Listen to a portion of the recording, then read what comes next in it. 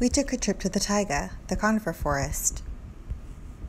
You can get to the taiga if you get up to northern latitudes or if you go up the side of a tall mountain, which is what we did.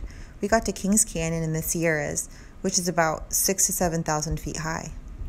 Here we can see a pine tree, which is typical in the taiga, and its lower branches are dying off.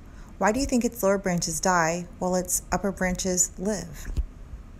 Besides pine trees and redwoods, there are other gymnosperms in the taiga. This is a giant sequoia.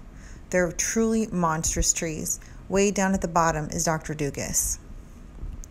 So here's a giant sequoia compared to some of the pine trees that are around it. Giant sequoias are very resistant to fire. So this is a burnt sequoia that's still alive. What happens if a sequoia gets too burnt? How burnt is too burnt? Can it replace its bark or does it just live with the burnt bark forever? Supposedly, there are 11 species of different kinds of conifers in Kings Canyon, but I'm not particularly good at telling them apart, so I don't know. While we were there, we got snowed on, which is not unusual at all in the taiga. It's a pretty snowy place for a lot of the year. What kinds of adaptations do these conifers have for snow?